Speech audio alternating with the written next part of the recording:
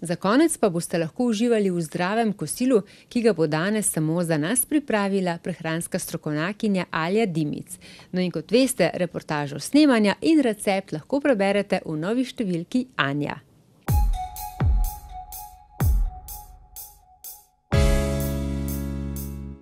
Živjo.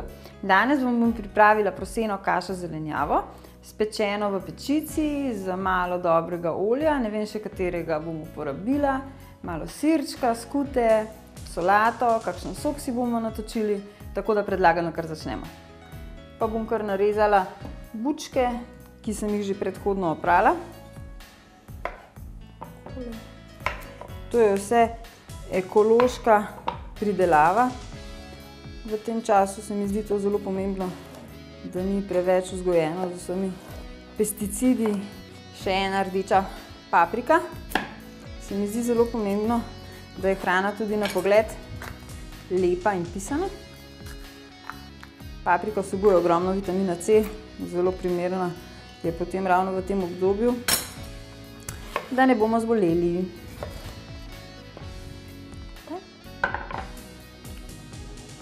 Zdaj pa korenček.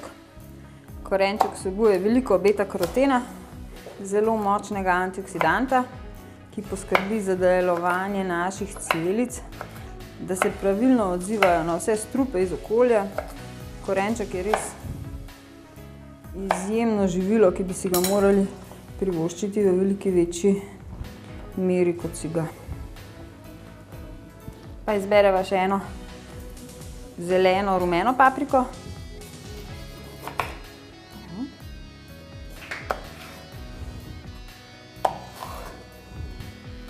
Zelena zelenjava je v naši kuhinji izjemno pomembna, tako da si jo privoščijo predvsem tiste ženske, ki imajo morda težave s pomanjkanjem železa, hemoglobina pri dolgih menstruacijah, kajti hemoglobin poskrbi za pravilno absorpcijo železa v naše celice.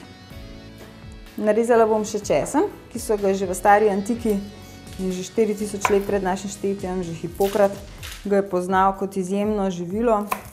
Uporablja se ga namesto antibiotika, saj pomori vse klice bakterije v našem telesu. Zdaj bom pa izbrala eno olje. Med temi izvrstnimi olji bom povedala, olja so zelo pomembna v naši prehrani, kajti sestavljajo prav vsako celico, sestavljajo membrano naše celice.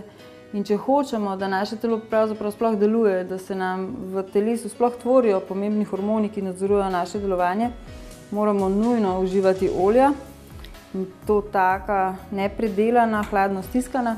Tako da sem si danes izbrala kar tole olje groznih pešk. Tako. No.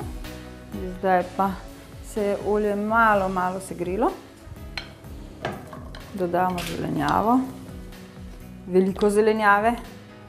To bo morda kar zelenjava s proseno kašo, ne prosena kaša zelenjavo začimbe, mešanica začimb, kurkuma, spet izjemno živilo za naša jetra, za razstrupljanje, sol, naravna morska sol, izjemno pomembna zaradi joda, jod skrbi za pravilno delovanje naše ščitnice, tako da bom dodala malo začimb,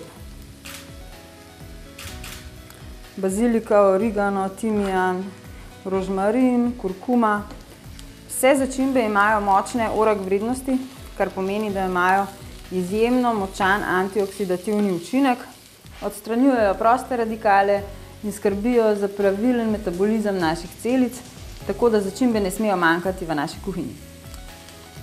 Dodala bom še sol, ne preveč soli, malo je pa zelo pomembno.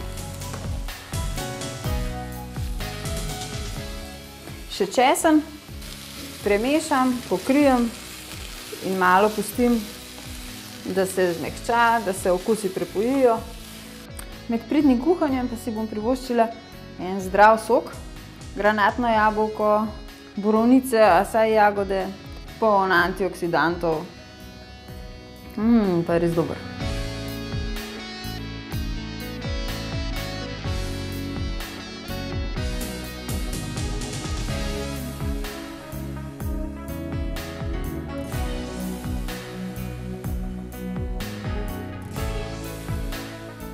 Solata je, da pogledam, kako se v naša zelenjava tudi.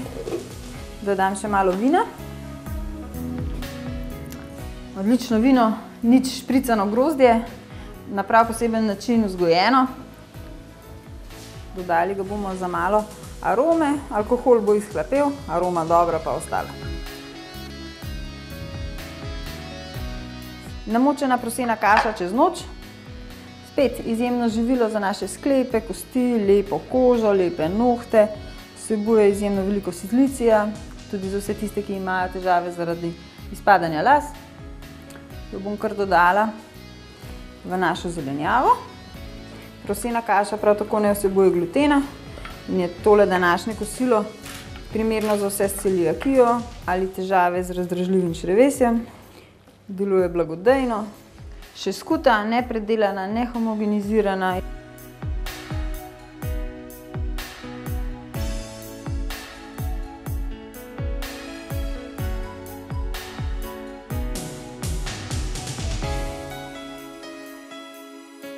In za povrh še mešanica semen.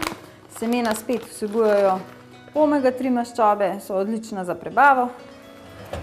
In damo za deset minut na sto osemdeset stopinj.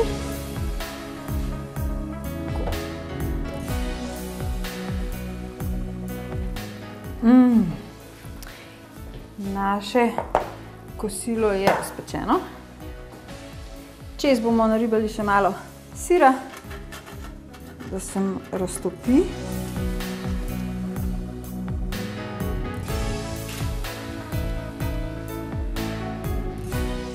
Letošnji zadnji ognjič z vrta zberemo za dekoracijo.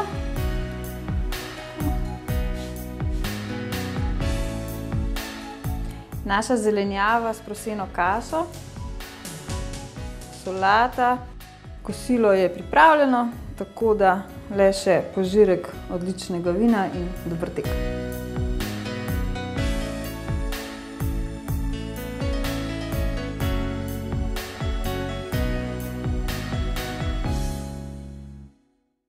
Toliko za danes. Mi se že veselimo decembra, ko bomo spet skupaj. Lepo se imejte in nasvidenje do takrat.